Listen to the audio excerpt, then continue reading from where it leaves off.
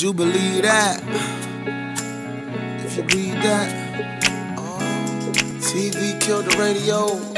TV killed the radio. Get it. What if they tell you this music is bogus?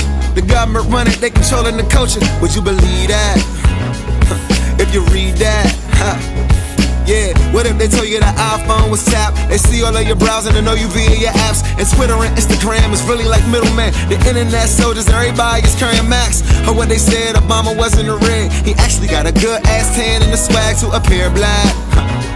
Would you believe that? Niggas impeach that. Look, how about they tell you you dying if you ain't voting? So now you go put one in line up that emotion and believe that. you know you do with your weak ass. Huh.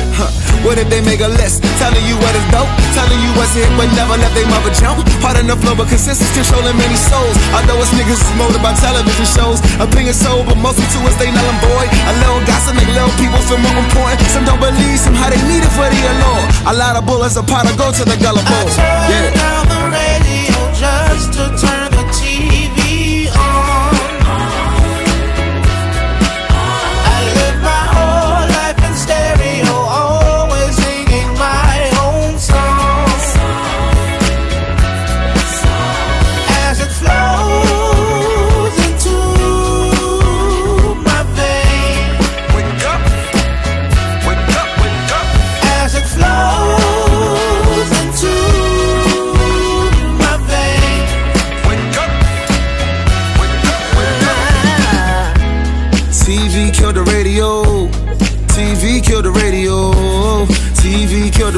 Radio. And then the internet slit the television throat. And then the world star model fell about the orbit. And for that broad, a rapper now is behind his mortgage. And other rappers been visit Shorty, Shorty be gone. And everybody be laughing at him, he doesn't know it. Cause he believe her. Thought he couldn't be G, but such a sweet girl. Newsflash, newsflash, it's